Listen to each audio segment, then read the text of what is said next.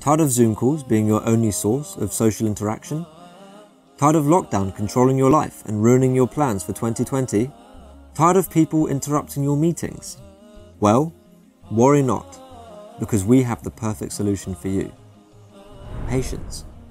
In this year's 57th FOSIS annual conference, we are introducing the poignant theme of patience and the prophets. And what better way to look at the beauty of patience than by looking at the lives of the prophets themselves? For the first time in FOSIS's history, we're hosting our annual conference online.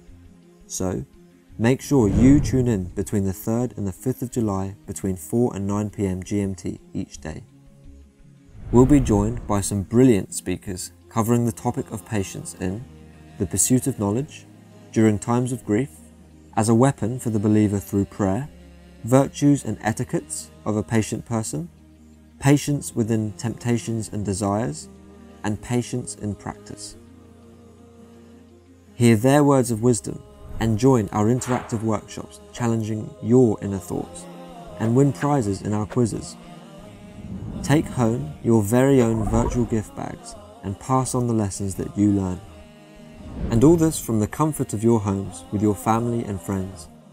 So, grab a bite and watch our stream live on YouTube. You can find the link to register in the description below.